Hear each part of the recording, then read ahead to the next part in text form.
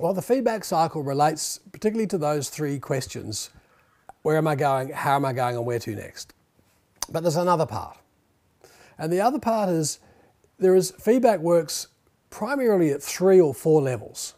The first level is feedback about the task, giving the students information about the content relative to those three feedback questions. And maybe they need to do more, maybe they need to relearn, maybe we need to reteach. So the first level is the task level. The second level is the process level. And this is where you as the instructor, you as the teacher, help the student perhaps to try different ways. Help them work out what the errors are and be more strategic. Give them some alternative ways of thinking about what they're doing. And you can see in that phase the teacher's very involved.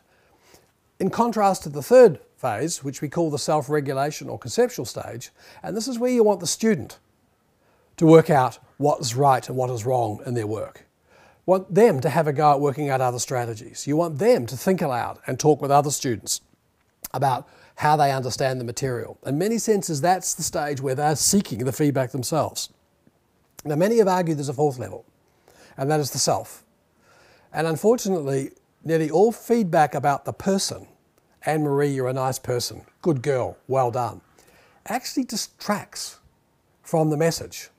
And so we argue very strongly that you should give praise to kids, but don't mix it up with the feedback information about the task, the process, or the self regulation level. Because, like humans, kids remember the praise and often forget the message.